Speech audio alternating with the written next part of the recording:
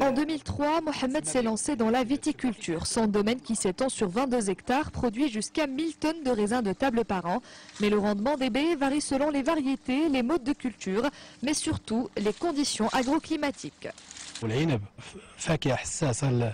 C'est une culture sensible qui requiert l'utilisation de plusieurs techniques pour garantir la qualité des fruits récoltés, ce qui explique les coûts élevés de la production. Pour produire un raisin de table de qualité, les producteurs de la région adoptent des techniques de pointe appropriées pour chaque cépage, en l'occurrence le ciselage des grappes et l'utilisation de régulateurs de croissance. L'installation d'un filet protecteur est essentielle. Cela permet de protéger les vignes contre les intempéries, les dégâts d'oiseaux et des rayons de soleil.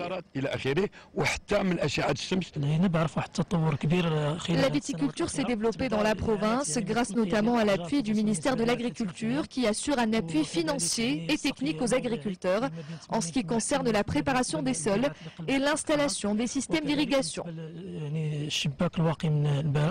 En chiffre, 51% de superficie dédiée à la production du raisin de table se concentre dans la province d'El Hajeb, avec plus de 6400 hectares. La province est également le premier producteur à l'échelle nationale, avec une récolte avoisinant les 25 000 tonnes par an.